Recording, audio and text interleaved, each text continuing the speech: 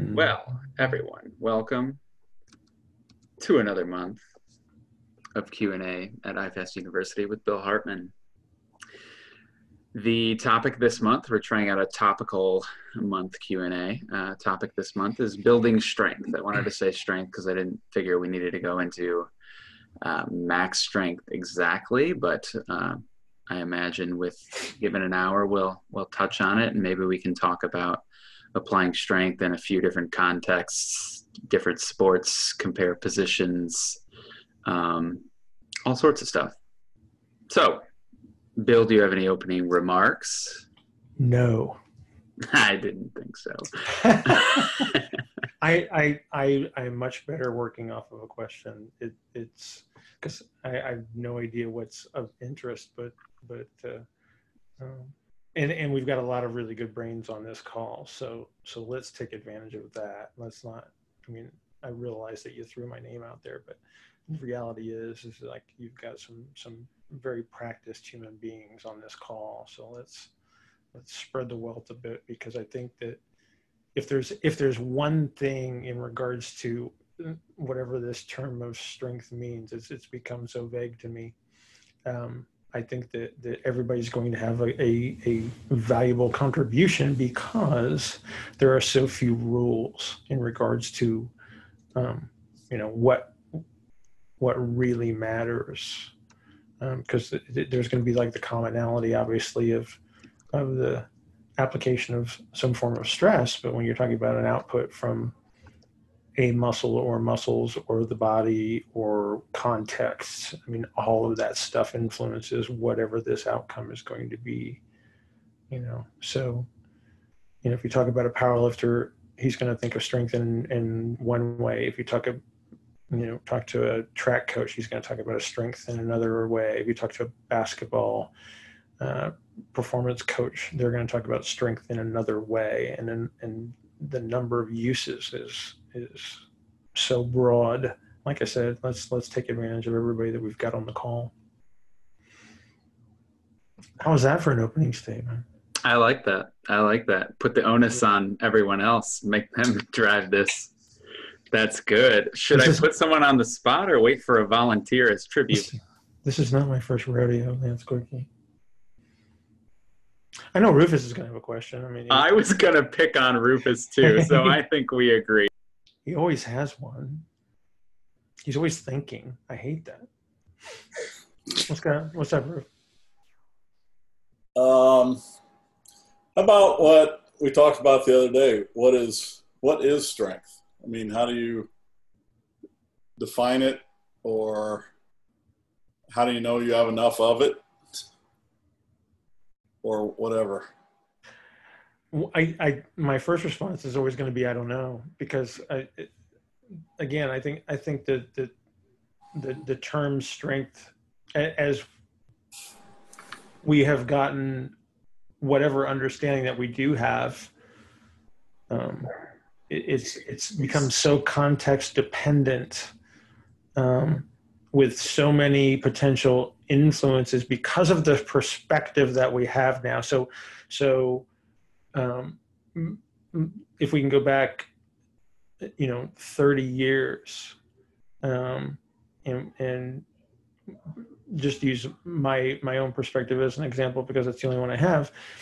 Um, it was it was very simple. It's like you induced a a stress, and then the body responded, and then you immediately got stronger. And then now we have any number of systems that are an influence. We have the nervous system, which we never really talked about, other than from a from a muscle recruitment and rate coding and intramuscular coordination standpoint. But the reality is, this is is you know if I come in feeling crappy after you know a, a, bad night of sleep or I had a fight with my wife, um, I'm weaker. Um, when I when I speak relatively in, in the in gym numbers right? So does that mean that I am weaker, or is it just that um, it, it's just a, a, a, cumulative output? Is it a cumulative expression of something?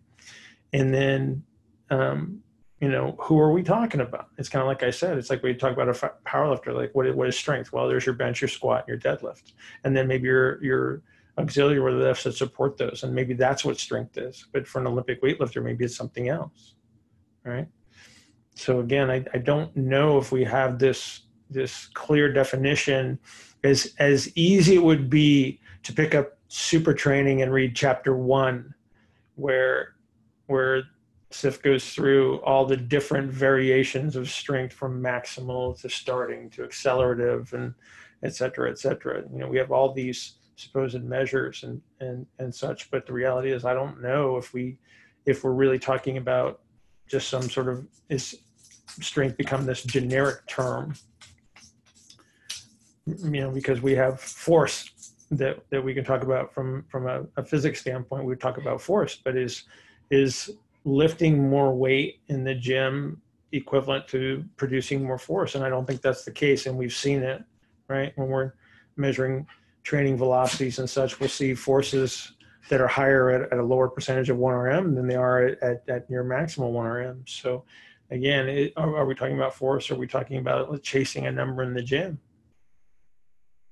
So I don't know if that was very helpful, but, but I think it's just a vague. I think it's just a vague concept that, that requires a lot of context to be defined and, and a lot of individual individualization to be defined. I don't think we can just say that this is strength.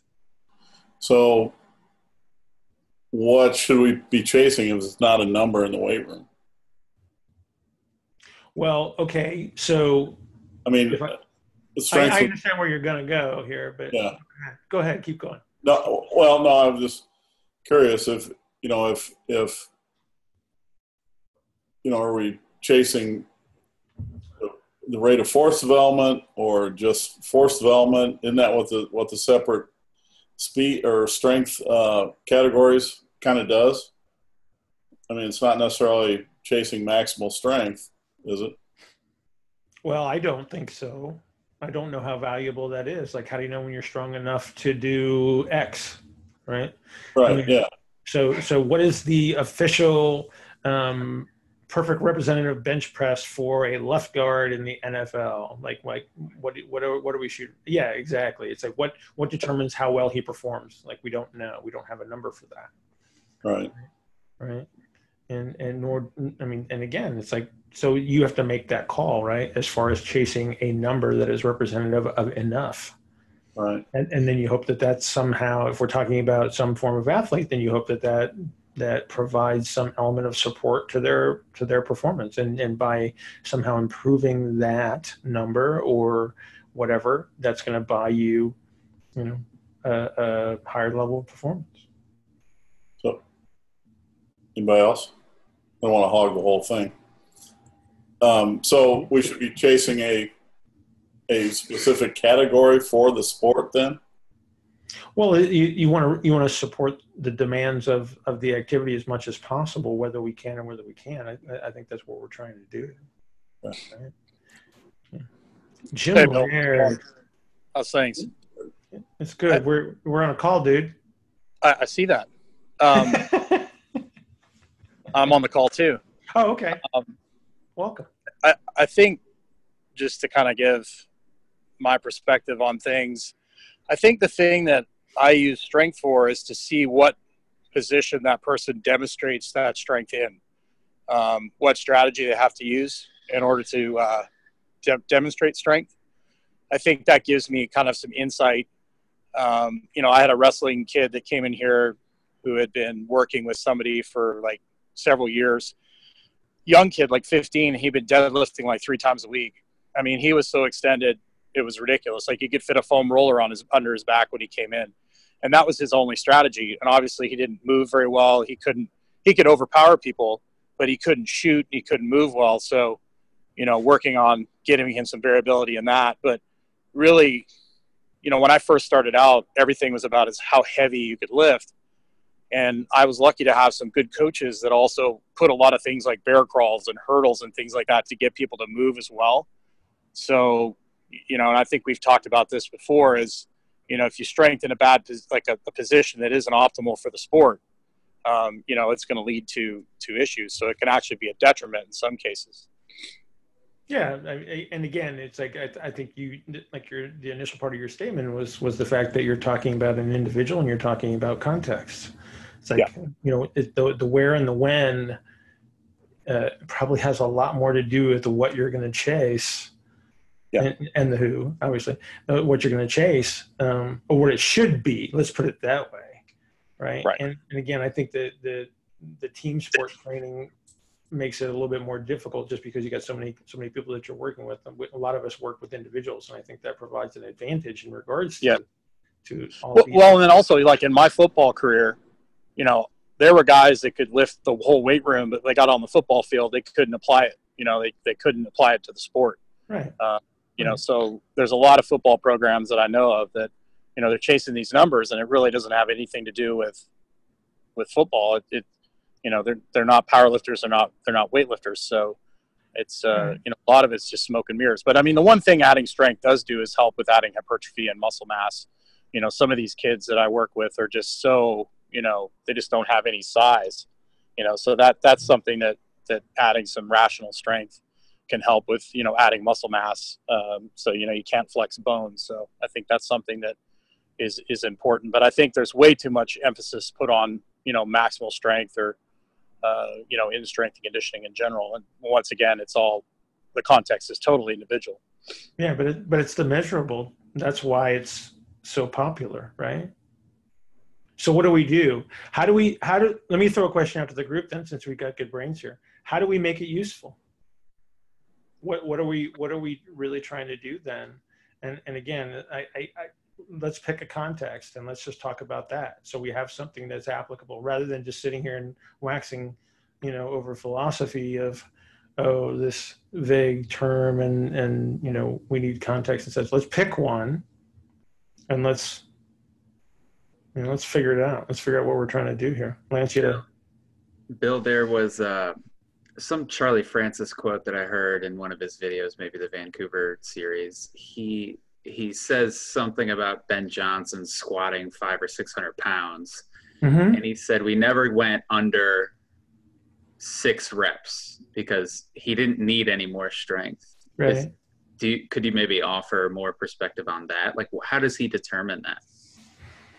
Well, uh, so again, it's uh, like you can you can see these things, and and keep in mind that that you're you're talking about a, a coach and a and an athlete with a long-term relationship. So they were tracking numbers over a very, very long time. So it's not hard to see the trends when, when you're you're collecting information over an extended period of time, and you say, okay, so if, is another hundred pounds on his squat going to do anything to enhance his performance in another realm? It's like so what we're what we're doing in the weight room is support is typically typically supportive of of some other activity and so again, does does me improving a, a squat number definitely enhance the the output in in a sprint or in agility or a throw? And and again, that's so we can't say yes, we can't say no. We just have to track numbers over time, and I think that's a big deal. Uh, you know, and, and, no matter who we're talking about and how we're making a decision, because the, the bottom line is, like I said before, we have so many potential influences that affect the outcome of the situation, we just don't know what that answer will be. We have history that informs us, but the ultimate decisions are are much more agile in regards to what we're what we're going to do, right? And so once I achieve a certain level of strength, however we're measuring that, then maybe it's just a matter of making sure that my system can output that that degree of effort and maybe that's my modulator that takes the brakes off of my nervous system and allows me to run a little bit faster or allows me to tolerate a little bit more stress or allows me to gain a little bit more position where anything further just doesn't doesn't provide that that enhancement. Do you think you can look at it from like solely a bioenergetics perspective and say he's going to run no i mean at least 10 seconds right so if he does a single he's probably not taking 10 seconds to do that single so maybe just from a time under tension fatigue standpoint, six reps makes more sense for him. I mean, maybe there's an element of that, right? But again, it's like, okay, so how many sets of six? Right? And how many, how many, how many, how much frequency are we talking about over time? There's so many parameters that are, that are, that are potential influences, you know, from a programming standpoint. And again, I think that's, that's why, you know when you have a longer term relationship and you're working individually with an athlete there's there's these huge advantages of being able to track numbers over time and so you know the, the people that work in the private sector have a very similar uh, approach in many cases where you you might have a, a four week program that you wrote for a client but you're always making those adjustments on the fly. Oh okay you know what? You had a big meeting and you crappy sleep and you missed a meal. Let's let's you know let's bring your volume down or let's let's adjust the intensity. We'll keep your rep range and we'll adjust the intensity. I mean there's so many influences and there's so many ways to manipulate a program that that you can do it on the fly to to a great degree. And then you have to take your experience into consideration and then take as, as much of this cumulative information that that you can acquire and then you have to make a decision. And then you have to intervene. And then you have to see what happens. And that's unfortunate because we just don't we, we don't always know what's coming out the back end so to speak.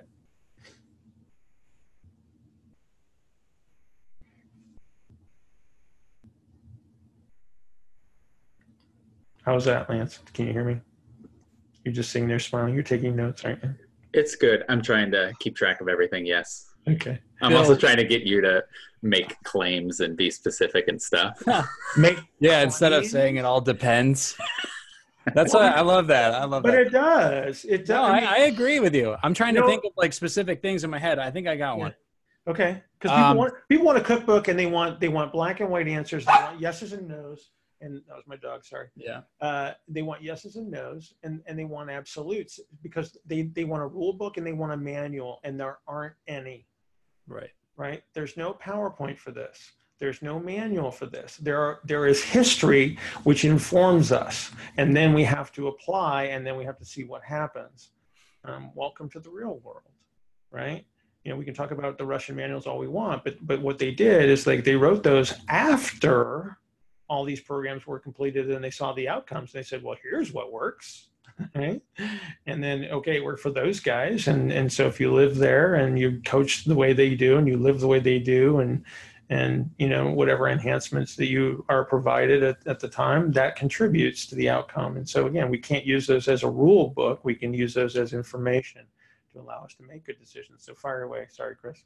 Uh, yeah. So the classic uh, thought process of taking athletes and doing like reactive strength indexes and realizing that one athlete is more reactive or elastic and they need more strength, or one athlete is more strong and mm-hmm. they need to be more elastic. Do you think that that type of thought process? Uh, I mean, what's your thought on that sort of thinking? I think there's elements that you can influence in a good way using that concept, and I think there's elephant, uh, there's elements that you will not change. Um, when you look at at physical structure of a human being, and you have these relationships in, in, in regards to how we move, and, and and we've had this conversation between us in the past. It's like if if I have a certain uh, rib cage or, or, thorax to pelvic circumference ratio, I move a very specific way because there's only one way the physics is going to let me do that. And, and so I can't change that part in many cases. I can maybe enhance it to a certain degree, but basically you're going to work with the tools that you have and um, the strategy that I may use to create this, this, this, um, change in the way that you can produce these reactive uh, movements, um, you know, may be a little bit different than, you know, if I'm looking looking at a six foot nine basketball player and a five foot nine female volleyball player. You know, they they both need you know certain jumping capabilities, but their physical structures are going to be radically different. And and so for me to try to enhance an element of that, I might have to use a totally different strategy whereas maybe the the basketball player i can use an external load. Maybe for the the female volleyball player maybe i need to take load away and and to, to get that same outcome.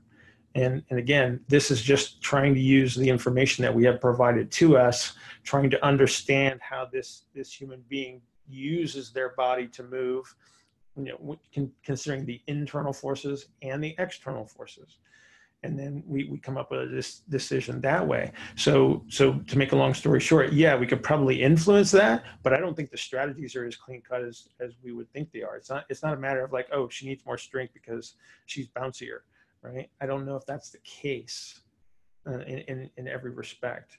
Um, but again, you you make a decision based on your understanding, based on your knowledge base, and based on the information that we do have available. You apply an intervention and you measure what happens, and then that furthers your decision making along this this agile path that you need to follow.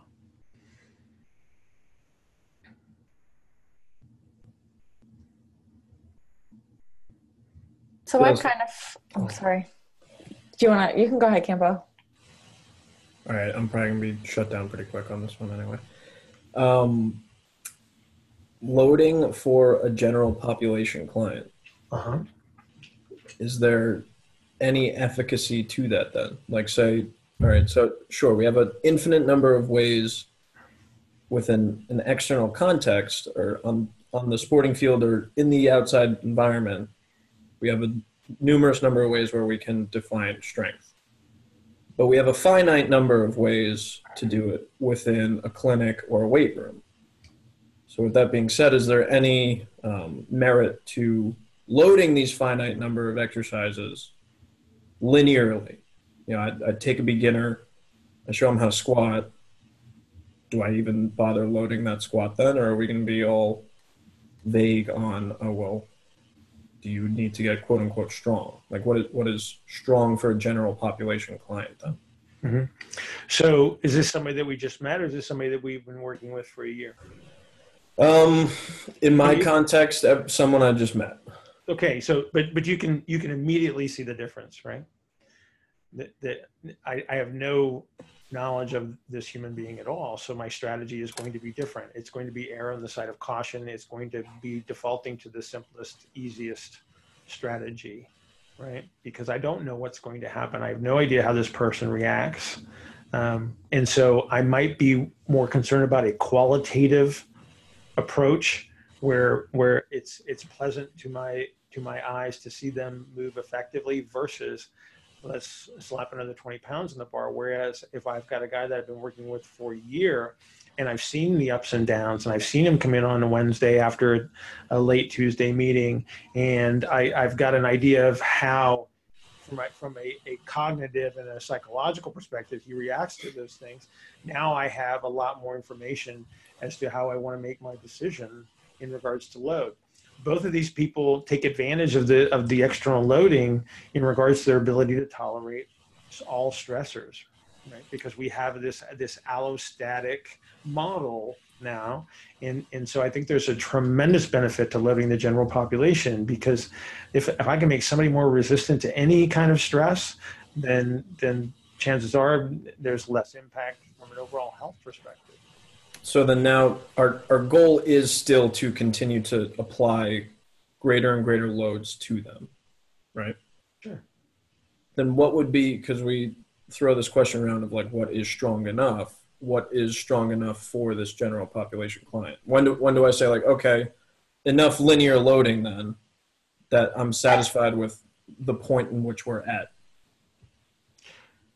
So it would, especially with general population, I, I think that that's a conversation that you have, and you say like, you know, where do you want to end up? Most people, when they come come to see you, they're they're either concerned about being comfortable with their body, whether that be in movement or in general appearance. And so, what allows you to to achieve that? Can you can you achieve muscular hypertrophy without increases in strength? Absolutely. Yeah, there there. I mean while there's a relationship between cross sectional area and and and force production that we know of, um, there's also elements where you'll you'll see, you know, that that relationship deviate where you can get hypertrophy and not see the the, the gains in strength that you would typically see. So, uh, yeah, physics exactly. Um, uh, so th- this might not be another it's pertinent to loading and max strength, but you know, you get a client that comes in and they say, I, want to get stronger. And then I try to have them uh, funnel that definition of like what stronger means for them. Do you have any strategies as far as, you know, taking their concept of what strong is and putting it into action? Mm-hmm. So you, you just, you, you keep asking for what, right? Like why, why, why is this important to you? how would it how would it represent how would you represent it right now? And then that's going to provide you an element of guidance in regards to you know the exercises that you select. So some people you know they just want to be able to pick up heavy things and and and then some guys want to you know work on a specific lift. You know we've got you know a few few guys in the in the the that come in in the late hours that you know they're going to come in and they, they just want to kill a bench press and and then then a lot of the decisions that are made in that regard have to become protective so they don't destroy themselves right? Because I, I want them to be successful. I want them to be pleased with their with their outcomes. But i also know that there's going to be negative side effects associated with that. And so so sometimes you have to, to kind of reel them in. And so again those are decision makers as well. It's, it's not just about driving somebody unilaterally in, in one direction. It's like okay what are the what are the bad side you know the bad sides to to uh, uh, doing this this much or this often at this intensity and and then how do I best protect them right okay Allison you're up. Thank you. That's actually a pretty good leeway into what I was going to ask about as well. Um, so I've I've been exploring similar things to what Campbell mentioned with Gen Pop. I don't really work with athletes anymore, so um, I've been, you know, working people towards their goals, trying to give them what they want and what I think that they could use, um, increase their capability to tolerate allostatic load and everything. Um, but I don't know where I can test them. I can test movements to see that those get better.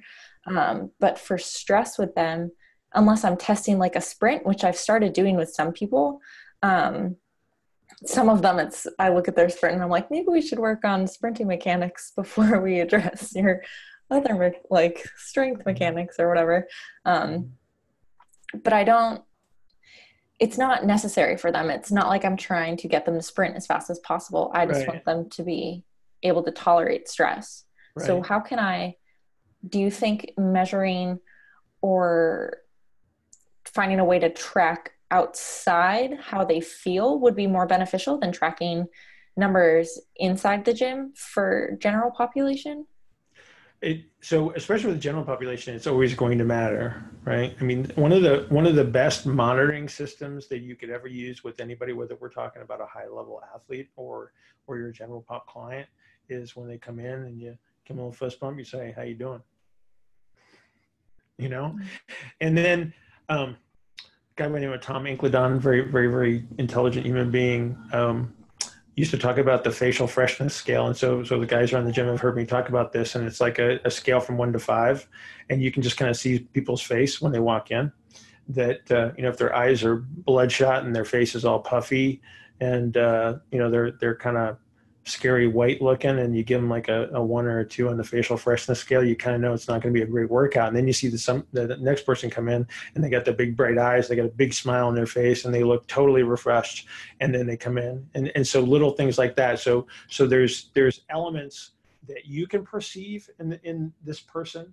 And so, you know, just their general physical appearance, their, the way that they move, the way they interact is going to provide you an element of decision making. Um, their, their ability to execute technique. So again, you, you have a role in this, and then they have a role as well. How hard was that lift for you today? There's your measuring stick, right? So you use use a rating of perceived exertion on a regular basis. Whether you do it um, acutely in the moment, so you take your rating of technique, and then you take their rating of perceived exertion, and then that decides the next set, right? So we talk about you know progressive resistance exercise or we want to talk about auto regulatory measures that's the best way to do it. So as a coach you have a you have a, a defined model in your head. It should look like this when you do this lift.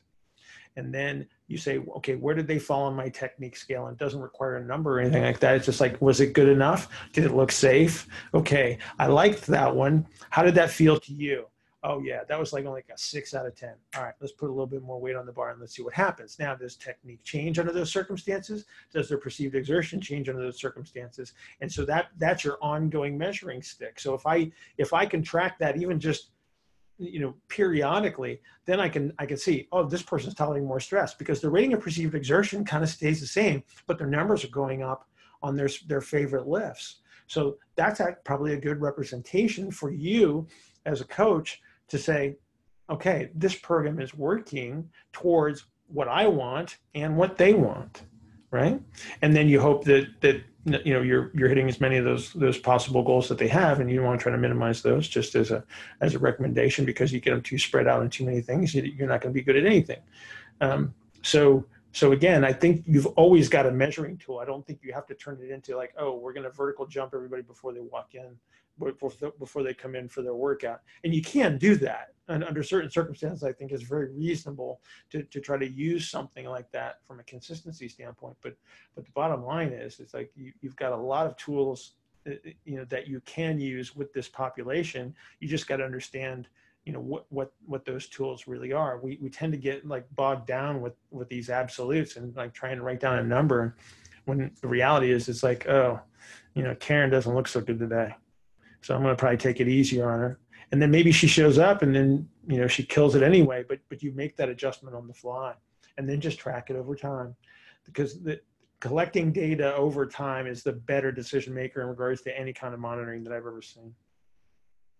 So the, that all makes sense. Um, I guess part of the issue that I'm still having though is when I have people, especially with the population that I work with in the tech industry, where you know it it fluctuates very frequently in how people work and their scheduling. Mm-hmm. So it really is like a week to week basis. Like he might have a really good week and then the next two weeks he's crushed. He's not sleeping well. His kid's been sick. He's got a cold and I can't prolong my tracking. We make a lot of progress in two weeks and then he has one or two weeks where he gets sick. And I have to question, well, is what I'm doing affecting him? Is that affecting him? Am I pushing him too hard? How can I track this more efficiently with mm-hmm. so much fluctuation? Because now uh, rate of perceived exertion is going to change if he catches a cold every three weeks because he has a baby is. at home. It sure is. But but what what's the one element of that lifestyle that you just described that you can control? His his working out. Yeah, yeah. I mean, like like his kids aren't going to go away his cold is going to go away when it decides to go away. His work schedule is is relatively uh, driven by what he does for a living. You can't manipulate any of those things, but take the one thing that you have power over, and then you provide him what is the reasonable element. And that means that it's like, you know what, today you're going to get on the stationary bike and we're just going to pedal slowly for 20 minutes and we're going to have a really deep conversation about your goals. And maybe that's today's workout because that's what he needs and then it provides you beneficial information and then you didn't kill him. And then maybe you enhance some element of his ability to to to recover right? And so again you you you have you have a lot of power in this situation right? But you know just because you didn't kill somebody for your work for their workout doesn't mean that that it wasn't an effective workout. And you need to explain that to the client as well. It's like you say look here's the dealio. I need you to get healthy and you know what if i bury you with with heavy deadlifts today i got a bad feeling that that we're just going to make this worse and then you're going to take this bad attitude home and then who knows what's going to happen right? So again you, you're erring on the side of caution. You're protecting your client. You're probably doing something that they that they um, probably need versus versus want but but the reality is it's like you're the one thing in his lifestyle that can be manipulated to meet whatever the current need is. You have agility in in your decision making. Whereas, okay, if he's got a work deadline, that ain't going away. Like I said, junior junior at home ain't going to go away. So so you gotta you've got to be willing to do that. And that's what makes you a good coach. When you can tell somebody that kind of thing, and and you develop that element of trust, and then they're, they're coming back to you, and then they keep referring people to you. Yeah, figuring out how to incorporate that that kind of tracking into their strength tracking is hmm is challenging. So there's a couple ways to do that, right? Like I said, acutely you can do it as as you're training, right? So you ask them how hard was that, and okay, so you have a rating of uh, perceived exertion, and then you have your rating of technique, and those two two things make the acute decisions. Then you take uh, the, like the primary lifts, like whatever, like you usually have like a big lift in a workout, right, or something like that. You take a primary lift, and you take the the the load volume, so sets times reps times load, you multiply that times a weekly RPE where you catch them at the on the last workout of the week, and you say, "How hard was it this week?" And they go, "Oh man, it was a seven. So then I multiply those loads times seven, and now I have a, a number. And then the next week I do the same thing, and then I just see, okay, well, what was my total load? So his perceived exertion, right, covers his cognitive, psychological, and emotional side, and then the the load volume will tell you how hard he actually worked relative to whatever he was doing the week before. And then they, now you have a fixed number that you can plot on a graph over time and you can say wow this is really working or this is where you got sick. And so um, i gave you i give you a, uh, an example. Uh, at uh, the um, boston sports medicine group thing a few years ago bill sands who was in charge of the uh, recovery and restoration for the U.S. Olympic Committee uh, gave gave a talk, and this is this is before we had all these cool gadgets that everybody wears and stuff. And and but what they did is they did this really detailed questionnaire that every athlete filled out every day, and and literally they tracked things over time, and he and he put up like real life examples, and it looks like a SAT test with the filling in the circles kind of thing. But you could see him tracking over time, and he would he you could see that their performances dropping off, and it goes here's where they got sick.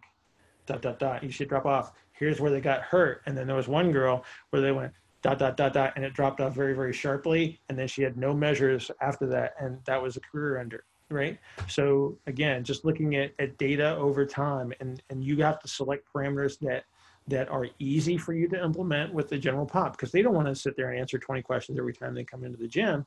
But hey how you doing? Um great.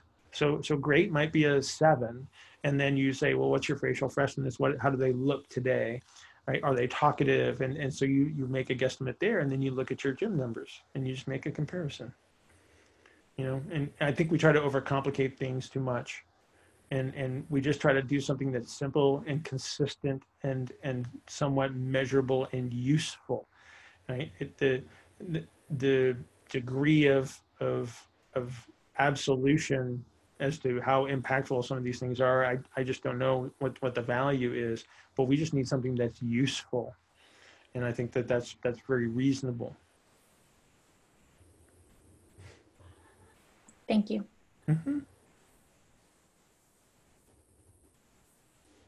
Can those, uh, you know, like the facial facial in- indicators you talk about, and different Mhm. things, can they can they change in the workout? I don't see why not. I mean, could that could that make the workout all of a sudden go better, or Do you ever have somebody, do you ever have somebody come in and say, man, I feel lousy, and then they warm up and then they PR? yeah, Yeah. So, you know, it's like you take it with a grain of salt, right? Again, it's like these are not absolute. We're dealing with humans, and that makes everything more complex. It would be really nice if we said, you know what, if you lift a 75% load eight times for three sets, um, you're going to get this response. And we just don't know that. We just don't know what that response is going to be.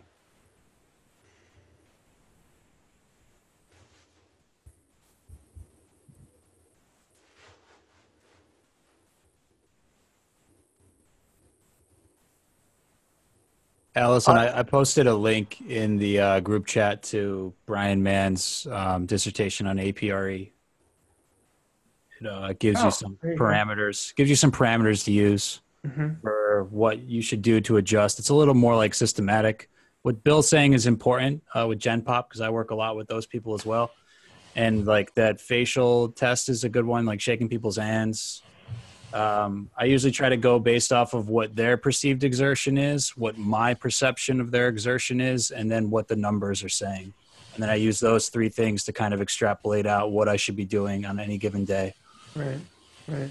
Um, the uh, I I don't I don't think I've seen um, Bryan's A- APRE article, but there's actually a very simplistic example of of autoregulatory progressive resistance exercise in Supertraining and, and I get the there's a it's a graphical representation where it says on this set here's what happened this set here's what happened and then here's the decision that you make based on this outcome. And so again there are ways to do this. And, and again I think especially with the Gen Pop we we have to be able to make these changes on the fly. The worst case scenario is to is to say that this program is gold and it's not going to change because you just don't know. There's just too many influences So, Bill, unless anyone else has a question. Campo. Does anyone else have a question? Okay. You Um, so, based on just the relativity of RPE, Mhm. I've participated in programs and I've also programmed this where people would achieve a five rep max or a three rep max within the primary lift that they're completing. And then they're utilizing that number to base the intensity for that session. Absolutely. Now, is that is that something that should be utilized more often to um, program for intensity, especially in like team settings or other settings where we don't have access to all this crazy technology, as well as, I mean, especially in a team setting where you can't really be as agile with something like an RPE because you well, might have but, but, but, but so too. so yeah yeah. Um, what what you're actually doing is is you're sort of testing the recovery in that regard. And so this is what I do with people that I work with at a distance because I can't be there to manipulate their parameters. And and so I always build a buffer into the the loading parameters. So I so I try to to control that as much as possible. But what I'll say is it's like, okay, so you're going to use a 5 RM load, you're going to do 3 reps until you can't do 3s. And and that gives me um, an, an accumulation of volume because most people want some level of hypertrophy to, to go with this. So I need to accumulate enough volume so so I can do that. And then, um, but this is how I modulate the intensity. So on, you know, week one they might come in and let's just say that they're they're benching 185 for five and they do their triples there, and then the next week they come in they're feeling great and so they're they they work up to their first set of they do a set of five and so they're going to measure their recovery. It's like how did you do? And then they go 190 and then they do their threes there. And so again so so so they've in, improved their stress tolerance or their their their systematic or systemic output. And so now they're training at, at whatever quote unquote optimum level that might be whether it's optimum or not there's a question mark of course. But it does give us a measurable to use as a guide right? We, we, we have provided them a level of information. Hey, Ruth, um, uh, the Bulgarian system was based on the same kind of concept, was it? They would come in for a training max, and then they would base all their percentages off the training max, correct? Right. They're, yeah, they're just trying to test the recovery, and so they they they would go to max on the classical lifts and any assistance lifts, and then uh, squats. And so that's and then they would tell them, okay, you're going to go to eighty percent for how many sets and reps, or ninety percent, whatever it was. Mm-hmm, mm-hmm. Yeah. So. so, so, so they're doing the same thing. I mean, they're just adapting. They're adapting the daily workout to whatever this individual's recovery capabilities are at the time. And so, again, is it right? Is it wrong? It's it's it's probably more right than wrong, um, in, in in regards to its usefulness, and to provide an element of of guidance and control. But like I said, I still I still build a buffer into it, um, just as a as a precaution if I'm not standing there watching them. Thank you. Mm-hmm. Bill, I'm going to make a, a loaded statement since, you know, I'm the king of loaded statements and questions. Um, with Are you- with kids are you not playing, with, pardon me, Are you invisible now? I'm invisible. I'm, I'm really taking my circadian biology seriously these days. Okay. Oh, I Um, see it. There you go. Oops, sorry. So, with kids not playing outside anymore, and with the human organism becoming more of a zoo animal, being less resilient, not having you know good capacity, uh, zero next to no GPP at all, um, I just kind of wanted to get your commentary on how the industry is going to have to change I mean, I know how I've changed already, but how the industry's have to going to have to change and how, um, you know, what we're going to have to do as professionals to basically do damage control. Because I really don't think we can make up for the fact that people don't work outside anymore and kids don't play outside anymore. Like, what is that going to look like in 10 or 15 years? I have no idea, but but I think that um, um, one of the things that we're doing specifically with the athletic development is is uh, we become an element of, of the gym class that they don't get anymore, right? And and so we're we're trying to develop athletes, but we're also looking at the other other elements. So and Rufus is the is the the godfather of this one. Talk about integrating play into the workout and such. Absolutely. Um, you know that that's a, a, huge element. Kids don't play and saying. my favorite. I, I should probably let Rufus tell you tell you this, but but the the the first time that he told me that uh, um, they were going to do their their warm up was was like to make up a game, and and the kids just stood there because they didn't know what to do. They don't know how to do it. Well, to, I did a podcast with with Joe Kenn, and he said that you know these guys they have to bring these leadership coaches into the NFL because none of them know how to take charge because they've had people do that for them forever. Right. They don't know how to do anything. They have no leadership skills because they've never played on a playground and had to pick teams and all that stuff. Yeah, I mean, I just it'll it'll probably get worse for a while, I think, and then you know there'll there'll be enough people die um, that are making the current decisions, and then a lot of smarter people that that are actually recognizing what makes us better and then the school will change because school school's been a problem i mean the, the, the, with the information age that we have now um, the way that school is designed doesn't work right um, yeah. if you look at domain knowledge so domain knowledge is what basically because google knows everything so you don't have to remember your buddy's phone number because your phone remembers it and then if you got a question um, Google knows the answer, right? Um, but and so so the kids don't need to remember anything as long as they got an iPad sitting there connected to the internet.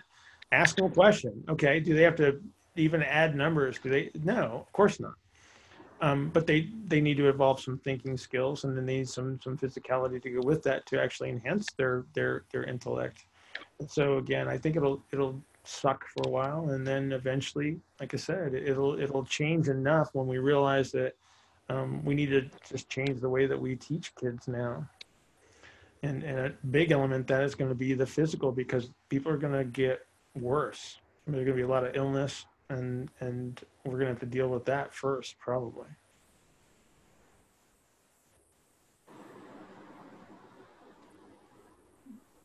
Um, going back to the play that Bill mentioned, there's it's kind of interesting because some schools are actually going back to more recess, and they're finding that they have less problems in school. And there was there was one school, and I can't remember if it was in Texas or Australia. Um, they they went back to like when I was growing up, it was a free for all. As long as you didn't kill each other, they they didn't you know you could play whatever you wanted, right? and so um, and they've cut down the fights in the school and discipline problems 80% they found in like the first semester and so i know there's a couple of schools here in Annapolis that are going towards more and longer recesses one of my grandsons is i think he's fourth or fifth grade i can't remember I asked him the other day, how much recess do you get? He goes, about 20 minutes. And then they're then they restrict what then they restrict what they can play. So yep. they can't play basketball because it might exclude somebody. Yeah, tell me about it, Campo. And you know, King of the Mountain, I'm definitely, I'm sure, is out. And uh, um, you know, and, and and things like that. And it's it's it's it, you know, it's and it's a uh, you know, it's we have these things in Indiana called four star schools I'm not sure what that means, but apparently it's a big deal because every, everybody that is a four star school has a big green sign up somewhere in town that says they're home of the four star schools. And so they, and, but not, none of them are, are going back to play. As a matter of fact, there's schools here, y'all might have it in your area, but they have like e-learning days where they don't have to go to school. They stay home all day and work on the computer. Yeah, there was a there was a study I shared or a, a thing I shared constantly on Facebook that the average maximum security prisoner in the United States gets more time outside than our kids do. That's, That's funny. That's funny you say that because I've got a little girl that I train. She's about she's eight, and uh, I got to go to HR for this, but she's larger, and uh, and so uh, she came in yesterday and told me her doctor says she has to get an hour of play outside every day. you think? Did, did, did they write that on a prescription pad? I, I, they, she just told me about it yesterday, so I don't know. I didn't. Yeah. I didn't that, that, that should be on the prescription pad. yeah. The, the sad thing is, is the fact that she has to be told to do that. Like that's the thing that just blows my mind because, you know, when I was growing up, like you literally, like the parent, my parents had to drag us into the house when it was dark. I mean, we'd have played all night if they'd have let us. Um, it's just insane how the mentality has changed in the last 20 years. Um, it's, it's just crazy.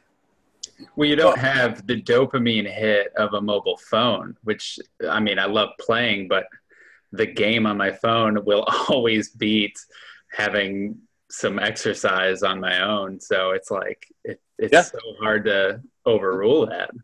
the the rabbit hole question is, Mr. Lance, is is that by design? That's the that's the rabbit hole question, and I would argue, and I would argue yes. You That's mean great. the mobile phone gives you the dopamine by design? Oh, all that stuff, yeah. The, Oh, for sure, for Facebook, sure. all that stuff is designed to do that It, on it is. purpose.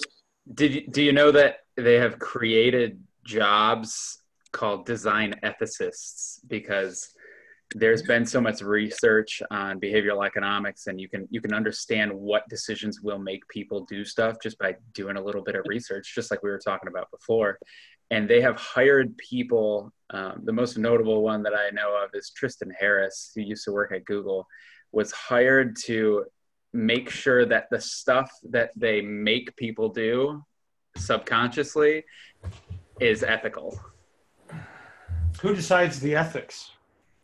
Some guy who studied ethics, Some guy. Yeah.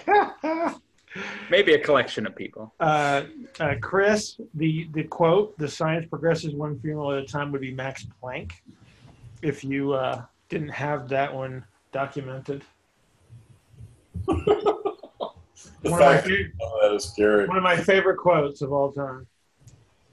So, I got a question to pose to everyone, um, and it certainly pertains to this play topic. So, I was discussing this with um, a bunch of my classmates, and someone brought up the point of, well, if you look at developed Asian countries, they'll actually have school weeks that are six days long as, a, as opposed to five days. So they have that they're almost at like this extreme of like increasing the amount of schooling um, similar to what we're seeing with like decreasing recess and replacing it with more classes. But they're always the countries that seem to rank the highest as far as educational levels are concerned. So it's Yeah, like, but they also have a 90% myopathy rate, and most of their male population is sterile. So that might kind of, there comes the price. okay. They're also um, really good at That's true. I mean, you can, you can, you can look it up. It's 90% of Asian, like in Japan, the myopathy in the 70s it was about 30%. Now it's close to 90% myopic. Okay. and their population is going backwards uh, because they just can't reproduce. But so then, why do you think that? Because we tried to get you know all these educational levels to rise with increasing classes. Now, you know the Japanese were able to do that by increasing classes. They were so So they're, we they're weren't. able. It's it's not that they're that their education's better. It's that they're better at, at scoring on tests. So when you look at education levels throughout the world, they're measuring it based off of test scores. So I have the privilege to work with a lot of people from China here, and it's it's insane what they have to go through for test taking. Um, they're forced to read textbooks and just regurgitate what they learn, and it's math and science, and that's why they do really good on tests because So- so-. Yeah, be so that again, we- this is one of the issues with with the with school is they're they're making people good at school. They're not making good thinkers. and and also in in Japan, what they do is they pull the kids out of the system that aren't good at academics and they put them in trades. So they don't even like count them in the testing. Um, you know, the, the big thing is to look at some of the European countries that I was standing in line behind, and actually my, my background is elementary education. I taught elementary school for three years and they kicked me out because they didn't like my approach. But um, so imagine that. I took the kids out like every half an hour and would play for 10 minutes and then come back inside. That, that didn't go over, go over very well. But um, so in Europe, they have like play based learning up to like the third grade. Um, and then they start going into like your typical school structure, kind of like a Montessori system. Here in Kentucky, they're forcing kids to read in preschool. Um, and they, they don't have the brain development that they're supposed to get through playing and playing games and having fun and being a kid. Um, so we're forcing these kids to learn things that they don't have the, the cognitive ability to actually do because they haven't done the play-based learning and they haven't been a kid. So we're forcing kids to be little adults and it's not a good long-term strategy. But, but are they stronger? No, not, not at all. I mean, I got kids that can't even do jumping. I was just trying to get us back on topic. Sorry. Sorry, my little, my little uh, loaded rant, my loaded statement took us it's off. all right, man. No, I'm just kidding. It's like we all kind of went there, didn't we? we somehow I went think from, we're we went from strength to NRP. Well, well, I mean, it kind of, it kind of, it kind of is relative to that because, I'm not like, when I first, when, when I first started, when I first started, like, 20 years ago, like, you, the athletes were a lot more resilient, and today, it's it's insane the lack of resiliency, and, and like, look at these kids that die in two days. Like, I got asked on a, uh, I got invited on the show to talk about strength coaches and extreme training. And you know, this kid, they had these kids die in Maryland, and the coach just said, "I was doing what I've been doing for the last 15 years." Well, the organism is different than it was 15 years ago. The kids, they're spending all summer in an air-conditioned house playing Fortnite. When I grew up, I was baling hay all day and, and working construction. Two a days was a vacation. I mean, you couldn't kill us if you tried. Um, but it, the, the organism is completely different today. Um, so, you know, it, it kind of does the, the, the, the childhood development in that is we just got less resilient people today. yeah, Um, I, I don't. I. I would agree with that because they don't play. One, I know, I don't want to get back on this topic, but just real quick, Finland. Have you ever read about Finland, Jim, and their and their school uh, and their schooling? They're like the number one nation Yes. in the world. And so they go to school like four or five hours a day, and every 45 minutes they get a 15 or 20 minute outdoor break, no matter what the weather. Yep. And so, but I, I think you're right about, and so getting off that topic, but I think you're right about the, uh, um, about the kids that they don't go out, they come in the weight, they, they come to train and they're not very strong and they can't do anything. They've never done anything. They've never mowed a lawn. They've never done manual labor. I mean, that's where you build the resiliency to handle high level stress. Yeah. You know? I mean, I think, you know, they, they, they, they, they just, they can't, they can't literally do a push up. Yep. You know, not, not even to our satisfaction. They just can't do the push up because they're not, they're not strong enough. They don't have gym class or at least in gym class, they don't, they don't do it. Well, they don't climb on fences or anything anymore. They just Yeah. sit on their ass inside. Well, it's you know because uh, um, uh, Bill, do you know if they're still doing the Naperville thing? I would imagine so. They had such a, a big to do about it when the book came out. Yeah. Okay. I don't I don't know. I mean, so John Ratey is very very active on social media every day. Um, so I would imagine there's something going on. I, th- I think I heard they are. I was just curious. Yeah, I would think so because again, that's that's where all the the initial testing was done, right? Well, that's that's where yeah, that's where they that's where they did the uh, uh, the thing, and they said that if they if they were if they were a country by themselves, the school system would be the number two or three ranked school system in the world, or the number two ranked educational system in the world. Lance, Yo. where are we in this? Um, well, we are hitting a time limit. I also want Brian Chung to speak up.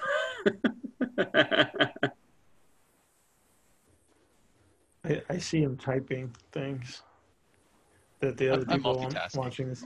There he is. I said. He's calling from the space shuttle, everyone. Yeah. That's, Right. Um, I think I think it's important that you that we don't apply the this is the way it was lens when you're looking at this situation. Um, the organism probably hasn't really changed, but what has changed is the distribution of that organism. And so what you're seeing, it could be that, yeah, maybe the whole, the entire race of humans, right? Like the entire species of humans is on this very, you know, slow decline into nothing. I, I think that if you were to consider like the speed at which things evolve, that would be ridiculously unlikely that a gene environment interaction could change that quickly in such a short period of time when you look at the rate at which evolution has to happen for that to actually occur right? So so what are, what are some of the other reasons that this might be? Is it the fact that people aren't getting recessed that they're less resilient? Is it the fact that there is now in some parts of the world this huge emphasis on making sure your kid has like every single advantage that they can possibly get in their entire lives? Who are you actually seeing when you see a kid who can't do a push-up. You're seeing a kid who can afford to come to see you who can't do a push-up right? So that's a that's a parent that's a familial unit that can afford to send a kid to organized sport who you are seeing and they are feeling the sort of the affluential pressure of the fact that now we have a kid we want our kid to have every advantage that they can in life. That means reading early that means doing early that means achieving early and that means achieving early in multiple domains not just in academia right? Like every single crazy parent wants their kid to have a scholarship right? Like you know like they want like they're they're like my kid is going to get uh is going to get a university scholarship. And this conversation that conversation has been had like numerous times about what that actually means and what that likelihood is and whether that's even a good investment on a parent on a parent's part to to say you know this is how my kid is going to get through college right? So who are you actually seeing and is that composition different? And is that why you're starting to see people who are showing up weaker than they should be right? Because it's not that it's not that that people in general aren't it's that you're actually starting to see people that would never have come to see you in the first place. Like you know when i was growing up well i didn't really play outside uh, but we were really active because we were put like i was put into every single possible extracurricular activity you could think of right? Not because my parents wanted me to get a scholarship anywhere but that's because that's just what we did um, you know, I grew up in an urban environment where we didn't really necessarily have the luxury of playing outside because outside was on the street, um, you know, in an urban area, which is not the best place to play, right? So, you know, I could not, I probably couldn't do a push up when I was 12, 13, right? I could swim, but I couldn't, I couldn't push up to save my life, right? I couldn't run around the block that's for sure. I still can't run around the block, so right. Um, so I think I think when when you apply that lens of my experience on on what it, what I'm observing, yes, it's important that you take what you have experienced and apply it, but it's you really have to be careful about how you're doing that because the way things were is not the way things are now and it's not because there's a deterioration in the stock of people that this is happening that there are probably other things that you're not necessarily seeing or considering the the so-called confounders that are causing these relationships to form in your brain because you're pretty much just looking at clouds at this point and saying that looks like a teddy bear So what you're saying is all bullshit. Brian Chung comes into room strength conditioning again. Thanks. My byline. There goes sports science down the tubes. We get, if, well i mean if we're going to load it we may as well load it both ways No, I, no, a very valid point. It's like we, we, we're, we're speaking from a perspective, and, and again, while it, it seems appropriately accurate for us, it's probably not the, the big picture. And and thank you for being the the naive expert, Brian, as you always are. That's why I keep you around. You know, you keep me on track. thanks i thought you liked me thanks I like you a lot. No, no, no. That- that- seriously, that, that, that's what's really important. Is because we're we're all a bunch of people that, that tend to do the same kind of thing, and so our perspective is very skewed, and, and so we need we need a little bit of that. I have a strength. I have a quick strength question for Bill. That I think I feel like you could, or the only person that could probably answer this, Bill, that I know. So, do you Get think out of here. you think that it's reasonable to think that a man uh, named Bruce Wayne, who's like six foot two and like He's 210, 210, so classically speaking, in the comics they say he's like six two, like two ten, something like that. Yeah, yeah. Um, no, he's jacked. now, if he could he reasonably bench press six hundred pounds given his frame, do you think it'd be even possible? Because in one of the comics he does bench press like six hundred pounds, I think. Well, I, I, I, I actually so down the hall, I actually do have a copy of his his workout, um, and I think he only goes up to like four hundred and some pounds. Yeah, but it's ridiculous. Oh no, he he misses a 600 and I remember. Okay, I'm trying to remember specifically, but I think he misses a 630 pound bench press. Yeah, yeah, but it, it's like I'll I'll tell you what I'll uh I'll I'll scan. I'll, I'll, I'll send Lance a copy of his strength workout that we can. we can analyze it. Put that in the notes. Yeah. Please. Doesn't You his have he, he would some find a sort way. of extra? He would find a way. Does- Doesn't Is his suit have some sort of extra skeletal strength kind of deal to it? I mean, it's potentially he could be using some sort of like assistance from the suit, but this is just raw Bruce Wayne power we're talking about here. Oh, sorry, strength. The topic is strength. Is that the is that the real Bruce Wayne, or is that all these fake ones that they come out in these movies? Are we talking about Adam West? Who who are you referring to as the real Bruce Wayne? hey, who who had the better barrel chest? I mean, come Oh on. yeah. Well, that was like who's the original? Who's the uh, who's the black and white one? Oh gosh. Um, Yeah, he had a he had a big old chest. yeah. Lance, look that up and put in the notes. On it. Yeah, Bill. Bill, who's your favorite? Who's your favorite Batman? That this is a good question. You you mean like uh, in the in the the media kind of stuff? Yeah, yeah, like in the movies and all that. Who's your Who's your favorite one? Um, Choose I- wisely. I, I I I have a I have a small bias for for very good reasons towards Ben Affleck, and it's not because of, of Ben Affleck the actor. It's because of his representation of it, and then the the single most exceptionally done fight scene in the history of cinema. um, what? Love in, that. In Batman versus Superman. That was it was like the best. It was like as close to a comic book fight scene as you could get. I mean, It was It was pretty good. it was it was really really well done. That was a screw job of epic proportions. You're just angry because I made you go.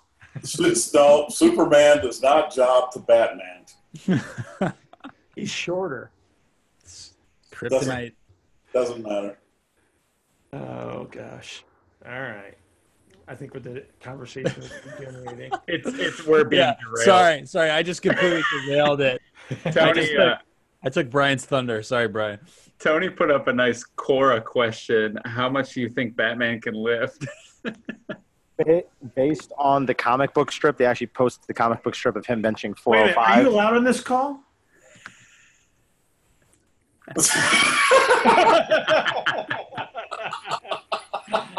nice shirt, Tony. Nice shirt. Good save. Wow. That was a good save. Dad, Dad almost kicked me out. Oh God, Hi, Tony. I miss you. miss you too, Bill. now I do at least. Yeah. Oh, yeah. Tony, that looks like 455, man. Look at the look at the uh, cells later on. Let's see it. Did it, does he change plates mid mid rack? Well, no, I think I think that look look it's four plates and then it looks like a 25, right? Maybe they're bumpers. They're kilos. That's, yeah, yeah, yeah. you got reading it. Yeah. 20, oh yeah, the end of twenty fives. Yeah, I missed that. He's got a couple of sandbags in his face too. That's strange. no,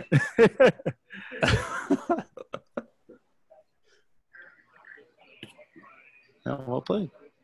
Yeah. Same as That's kind, five. of a, that's kind of a narrow grip too. Yeah. Huh. Sorry to derail. Yeah. Yeah. Just answering the important questions. All right. Hey, that was pretty good though. In general, I thought it went well.